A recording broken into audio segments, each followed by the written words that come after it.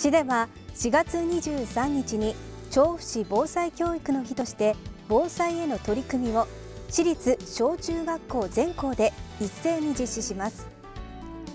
防災教育の日は平成23年3月11日に発生した東日本大震災の教訓を踏まえ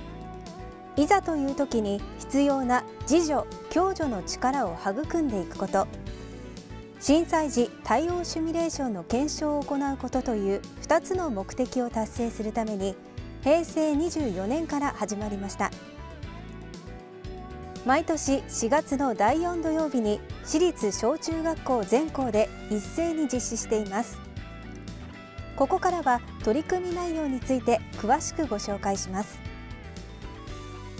防災教育の日では毎年児童生徒に命の尊さを学び自らの命は自らが守る意識を高めるため命の授業を実施しているほか保護者や地域の方々に向け防災の意識を高めてもらうため東日本大震災の被災地からの講師などによる講話や講演会を実施してきました。また子どもたちは避難訓練に取り組み市職員は地区協議会等の地域住民の方々と共同して避難所開設運営訓練を行ってきました。実際の避難所はどうなっているのか。避難所として機能するためにはどのようなことをする必要があるのかなど考える機会となっています。その他調布消防署と連携し避難訓練の視察公表。市内企業の協力で学校に寄進者を派遣。調布警察署や市内都立高校私立中学校高校との連携等さまざまな取り組みが行われてきました。4月23日に実施する今回の防災教育の日は感染症対策を踏まえた避難所開設訓練を統一のテーマとし各小中学校で市職員が中心となって地域住民の方々とともに避難所開設訓練を行います。令和元年の台風19号において調布市では市政施行以来初めての避難勧告を発令し市内13カ所に避難所を開設しました。当時の状況として避難所の開設にあたっては体育館校舎の開け方や備蓄品の場所がわからない避難された方の受付を円滑にできなかったなど課題が生じました。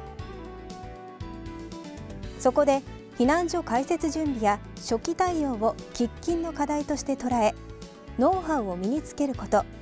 そして避難所開設運営を円滑に行うため防災教育の日を市職員が主導し初期対応の訓練を実施することとしています。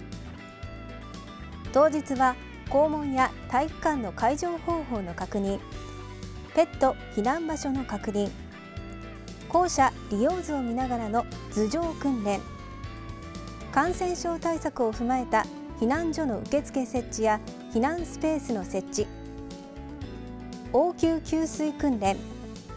防災無線での通信訓練などの避難所開設訓練を実施します。また小学校6年生や中学校3年生とその保護者の方に避難所体験や実際の受付方法等を体験してもらう予定です。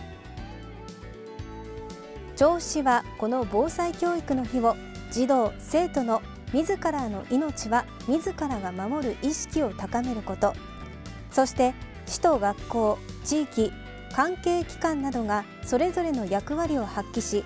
災害時に適切な対応が行えるようにより実効的な訓練を重ね調布市全体の防災力を向上させる取り組みとして発展させていきたいと考えています。